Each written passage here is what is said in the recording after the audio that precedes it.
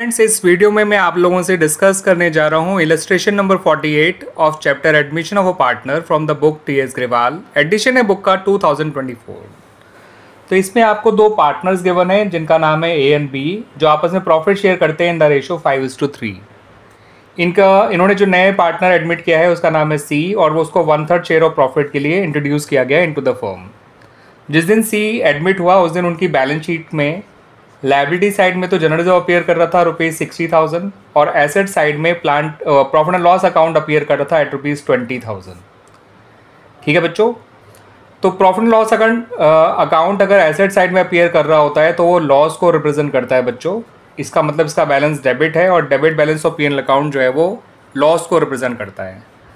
आपसे कहा गया नेसेसरी एंट्रीज बनाइए in the books of the firm तो सिंपली बच्चों आपको क्या करना है? जो जनरल रिज़र्व है, उसको और जो आपका प्रॉफिट एंड लॉस अकाउंट का बैलेंस है उसको, दोनों को पार्टनर्स के ओल्ड रेशो में बांट के ख़त्म कर देना है। इसका नए पार्टनर से कोई लेना देना नहीं है। तो जनरल रिज़र्व जो कि सिक्सटी थाउज़ेंड है, इसको अब ओल्ड रेशो में बांटेंगे तो thirty seven five hundred A के हिस्से में आ जाएगा twenty two five hundred B के हिस्से में आ जाएगा। और इस तरह से जनरल रिज़र्व अकाउंट क्लोज हो जाएगा। अब नई बैलेंस शीट में जनरल रिज़र्व अकाउंट को नहीं शो किया जाएगा क्योंकि इसे हमने डिस्ट्रीब्यूट कर दिया। उसी तरह से प्रॉफिट एंड लॉस अकाउंट के डेबिट बैलेंस को आप बांट दीजिए between A and B only क्योंकि ये जो प्रॉफिट एंड लॉस होता है, वो पुराना एक्यूमलेट किया हुआ प्रॉफिट एंड लॉस है तो इसको जो है हम पार्टनर्स के ओल्ड रेशियो में बांटेंगे। एंड क्योंकि ये लॉस है तो इसको बांटने से ए और बी दोनों ही कैपिटल अकाउंट डेबिट हो जाएँगे।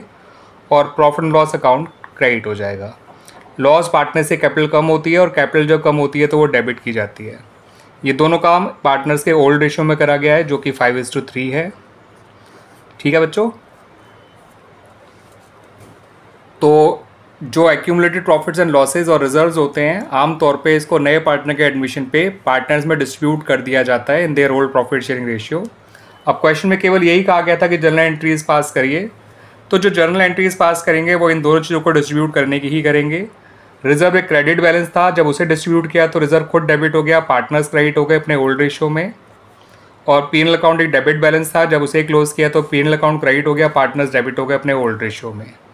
ये लॉस था, इसलिए कैपिटल कम हो गई और रिज़र्व एक तरह से प्रॉफिट है। प्रॉफिट जब पटा पार्टनर में तो कैपिटल इंक्रीज हो गई।